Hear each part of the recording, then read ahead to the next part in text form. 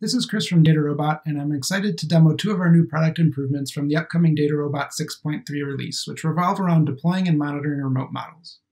First, I will introduce prediction environments, a new feature which allow users to define the remote locations where models will be deployed.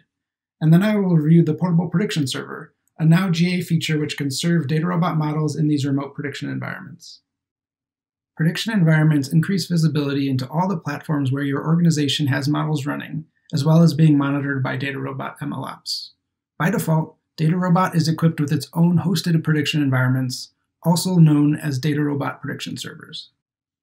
Users can also define prediction environments that describe other platforms where their organization is deploying models. This allows DataRobot MLOps to accurately represent these deployments and provide a centralized location for monitoring information, which is being passed back to DataRobot MLOps via the monitoring agent.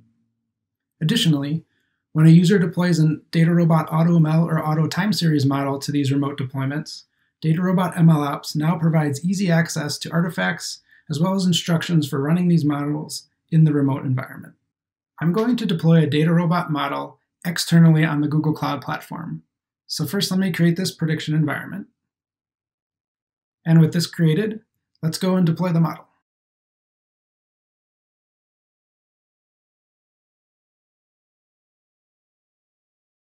The deployment flow has changed slightly.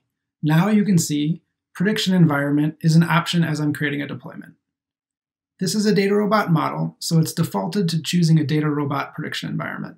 But I want to deploy this remotely, so I'm going to change this to the recently created GCP prediction environment.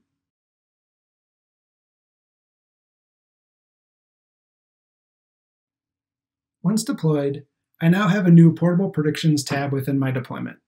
This gives me access to both the model package and scoring code, both with monitoring, depending on how I want to deploy my model externally.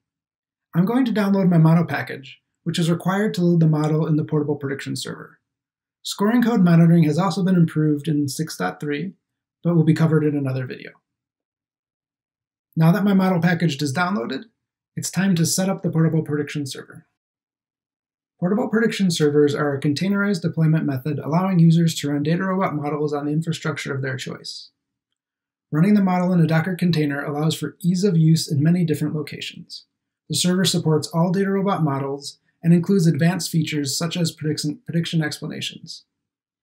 The server comes bundled with the monitoring agent to ensure MLOps can easily capture the information it needs to assess your model's health and performance. So with just a few simple steps, users can quickly have their model up and running and accessible over REST API. New in DataRobot 6.3 is the ability to run more than one model per container. This is the mode that I'll utilize here. First, I have some configuration to take care of. I'm letting the server know where it should find the models it is deploying, how many workers to run, and to enable the monitoring agent. It should be noted that the agent can run in several configurations, either inside this container or separately outside depending on the use case. Here for simplicity, I'm running it inside. Next, I've placed my model package inside a specific folder structure. The new enhancements in 6.3 allow multiple models to be passed via this structure to be hosted by one container. One last piece of configuration tells the prediction server which deployment should receive the monitoring information captured from usage of this model. And with that configuration, I can launch the prediction server. I'll quickly confirm my model is up and running using this information endpoint.